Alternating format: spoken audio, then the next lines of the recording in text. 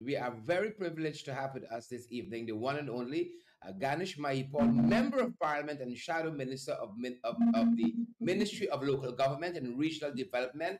And this is a work that Ganesh takes very seriously. He has been like a hawk on the People's Progressive Party Civic. And that is why we're here this evening because Ganesh recently put out on social media that there was a reshuffle of sorts at the local government level Ganesh, tell us a little bit about that. Hi, Sherrod. Good evening, and good evening to all your viewers also.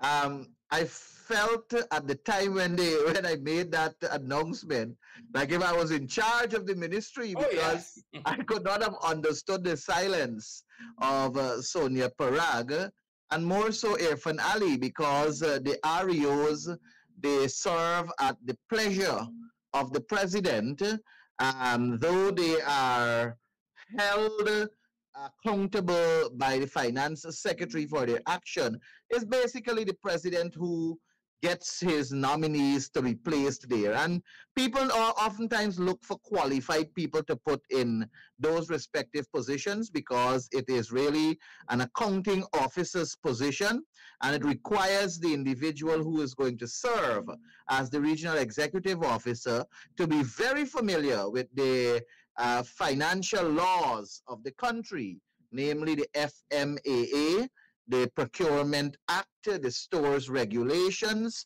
and all the other financial laws that are uh, in there for them to follow and be guided by. Um, it was a clandestine move by the People's Progressive Party, and I am not certain what is the reason or rationale uh-huh. behind it. But, you know, as an opposition member of parliament and as that MP that has responsibility for local government and regional development, it is my job I am paid to keep a close eye on these people and what they do.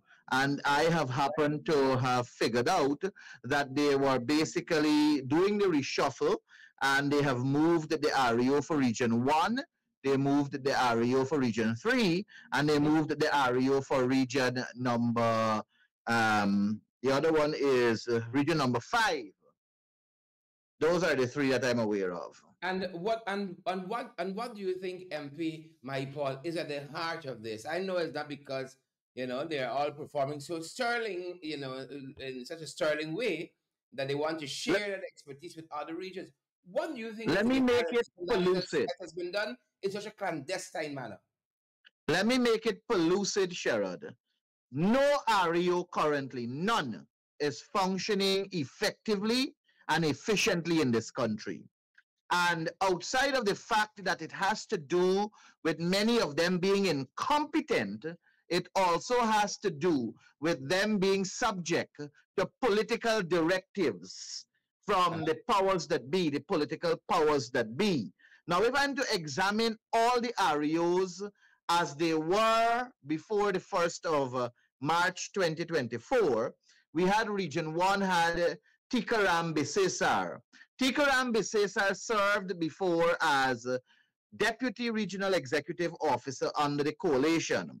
And mm-hmm. we have found at the Public Accounts Committee that he neglected his duties at that level as DREO. We have found that things that he was responsible for, many things that he was responsible for, they never happened. Now that he assumed the REO position in 2020 and a change of government, he started to do things differently. I concluded that possibly his actions were uh, aimed at undermining the regional administration during the coalition time. And I told him that.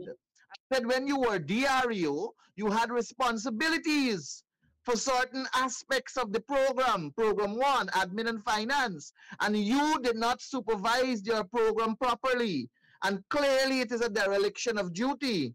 But in 2020, you were promoted to REO position and now you're putting measures in place, the same measures that you could have dealt with when you were there as the. Don't you think that this is you shirking your responsibilities back then and possibly undermining the then regime? or the then administration. And of course, he had his back and forth where he was blaming the existing area. And we asked him to provide the evidence. Could not have. Region 2, this girl that they have there currently, Suzanne Sewak, I think if Ms. Sewak is given an opportunity to function without political interference, she may get the opportunity to do better than what she is doing. She still has, in my humble estimation, she still has a lot to learn in terms of the financial laws and ensuring that she follows those financial laws. But she is uh, she is subject to heavy political interference. At Region wow. 3, they had wow. Jagnarine Somwar. Well, that was a madman. Somwar was on a whole different level altogether. He saw himself as though he was the father of these staff members and to some extent a grandfather to them too. Mm-hmm. Speaking to them in loose manner, very, very um, uncouth behavior. And, and there were so many complaints about him and his behavior in terms of how he was operating. Every morning at 8 o'clock, he has a meeting and it lasts from like 8 to 10 o'clock and then two hours, nothing of substance but to chastise and, and denigrate and, and talk ill about his staff. Even the original chairman, I was told, was so fed up of him that they actually petitioned the government to replace him. And he was yeah. one that that was replaced. Region 4 has Donald Gajraj. Well, we, I don't need to go into details about the Gajraj. I think uh, the Gajraj has a reputation in this country, infamous reputation, and they are not the, the best in terms of management. And we mm-hmm. know that there are many allegations surrounding the name Gajraj. Region 5 had Genevieve Blackman. Well, we also know that she was not uh, to the point qualified for the position when she was appointed. And she was also replaced, I'm told, for great incompetence and not really satisfying the political instructions that were coming from the regional chairman and other political directives that were coming from other political people within the PPP. Region 6, they have this gentleman, Narendra Prasad. I think he is extremely incompetent also uh, Kerwin Ward from Region 7. He is somebody who has been in the system for a long time, has 30 something years in the public system, but I don't know. Um, I think Gail Teixeira may be hampering him also in terms of his of political directives there at Region 7. I've heard uh -huh. many complaints mm -hmm. of Gail Teixeira sending political directives as to what he must do. Region 8, there is Peter Ramotar, that's Donald Ramotar brother. So I don't need to tell you where his political allegiance is, and I don't need to tell you how much political instruction is also hampering Region 8. As we know, Region 8, as a matter of fact, the school that was uh, the dormitory that uh, that was burnt that caused this country 20 young lives was mm-hmm. directly under the management of the regional administration. And it was uh, Peter Ramotar, who was our REO at the time, that had direct supervision over that dormitory in terms of the physical wow. infrastructure. Wow. Uh, region 9, there is Karl Singh.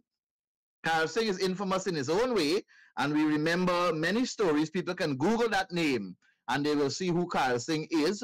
Yeah, we know that he was also very integral in the uh, in the PNC office that they basically stole. And you know that matter is still, I think, engaging the court. And Region 10, they had they have Dwight John, who is a central executive member of the PPP. So if you go through all 10 areas, Sherrod, you will see that region one was not a PPP member, Tikaram Bisesar. He was not a PPP member nor a PNC member. He was just an incompetent small individual that knew nothing what he was doing. Region 2, Suzanne Sewak, I'm not aware of her having any political affiliation either. Region 3, Jagnarine Somwar, that's the PPP. He was there in the recount and he was representing the People's Progressive Party. So he was given a job basically for his, what they may term hard work at the recount exercise they had. Region 4 is Gajraj. Gajraj is PPP. Genevieve Blackman, I heard people saying that she is PPP. Uh, Narendra Prasad PPP from Region 6. Region 7, Kerwin Ward, he's neither here nor there also from what I know, uh, having uh, known him in the public service for a number of years. Region 8, Peter Ramotar, PPP. Karl Singh, PPP. Dwight John, PPP. So 10 of these are REOs are People's Progressive Party members. And if they are well, if they're not members, let me let me take that back. There are 10 REOs who has displayed on numerous occasions their likeness, their affiliation, their proudness to associate with PPP. 10 of them. Of the eight of them, sorry, of the 10 REOs, I am not sure how many have financial background in terms of their qualification to hold these respective positions. And that is why you're finding incompetence and you're finding a sense of not knowing what they have to do in these respective regions that is causing the need for you to have reshuffles. But look at the reshuffles. Even that is worrying now because competency again comes into play.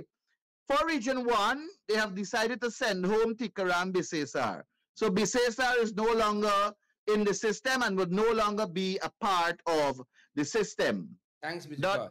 They're replacing him with Siu Chand. Siu Chand is the deputy or was the deputy REO for Region 10 and has now gone as REO of Region 1. I am going to be very, um, very kind to say to you, Sherrod, that I am a bit optimistic with him because he had time in the system mm-hmm. and it is expected that he understands the system and one would expect that you can get something out of him. But we're yet to see that. That's the first one. The uh Siu Chan given his experience. But I'm not I'm not holding him to that either, if you understand me, right? Correct, correct. Region three, because they have removed experience too, but that hasn't. Uh, yeah, that's true. That, but I want to be I want to be fair. I want to be kind. Yeah. You know, Region three, we see um Jagnarine Somwar being removed completely, and he's going now to head the civil, the Community Development Council (CDC). Uh, that's another incompetent group of people there. That's really political lackeys of the PPP that are now a part of the CDC. But the the Jagnarine Somwar has been removed and, and has gone there. They they have replaced him with Devanan Ramdat. Now Ramdat has uh, he was regional chairman for Region 2 during the 2015 to 2020 period. And uh, in 2020, when the PPP won elections, he got the REO's position in Region 2. And you would remember that there were many stories out there about him when he was serving as REO back then in 2020. And people can Google also and see. But he has no experience in understanding the financial laws. He has no experience or qualification that can show that he is aptly fit for this position. So that is one we will have to watch. And when you have people who are not knowledgeable of these rules and regulations and are politically aligned, they tend to do and follow political instructions, which leads to massive corruption and mismanagement of the sector, thus causing great worry in the scheme of democracy. Uh, and then the other one is Region 5 some of is it a lot of that we're seeing, and perhaps the PPP yeah. supposed to their judgment, but they realize they're coming to crunch time and they got to get a couple things done. And if these people stay there, my lord. No, but, but let, let's look. Region 5 is even worse. Genevieve Blackman is an educated woman. She has a number of qualifications to her name. I know that. She was incompetent as REO, but she has a number of qualifications to her name. But they have replaced her with Dwayne Adams. Dwayne Adams is the man who always walks behind Irfaan Ali with a notepad to write down every time Irfaan said, do this, do oh, that, do the other. He writes down, yes, he's Irfaan's shadow. He writes down everything.